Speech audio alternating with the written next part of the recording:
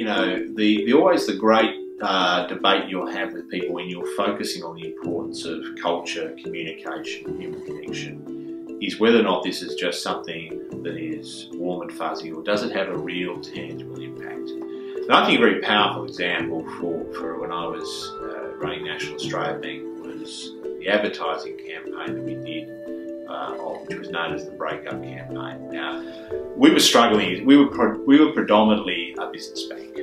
Um, we, we mostly focused on small business customers, but what we needed was more retail customers, more mainstream customers, because what that was going to do was obviously create more balance in our business. If you've got a very, um, I guess, homogeneous workforce, then they'll come up with a standard thing, let's put an ad in a newspaper.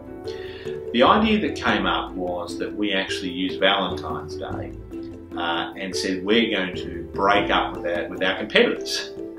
And we created an enormous splash, you know, yes, backed up by, by media campaigns, but by lots of stunts, you know, helicopters flying around with things and people playing pianos outside our competitors' offices saying we're breaking up with you. And, and it, it, inevitably, lots of social media, it inevitably got incredible attention worldwide. It was actually also very expensive to do. Uh, we have probably shifted in the five or six years since that campaign was done, probably five years, one and a half million customers uh, from our competitors to us. I mean, it had a material impact on the performance of our business.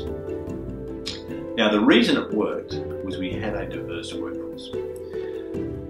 People, we had people sitting around that table from different industries, different backgrounds, different perspectives, who were able to really throw out what, in hindsight, was incredibly successful, but in its conception was potentially high risk.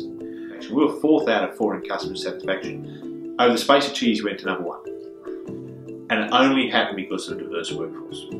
Um, you know, and people also not just being diverse, but feeling safe to actually express wild ideas. So we create an environment where not only do they feel safe, we have the diversity of those ideas out there. So that I think it's a fantastic, tangible example of where there is a correlation between creating the right kind of workplace environment and genuine financial outcome, because that is always the challenge.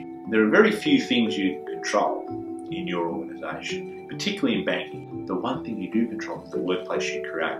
So why wouldn't you as an organisation put the maximum degree of effort into that? And if you create that diverse, inclusive workforce, then of course you absolutely get financial impact.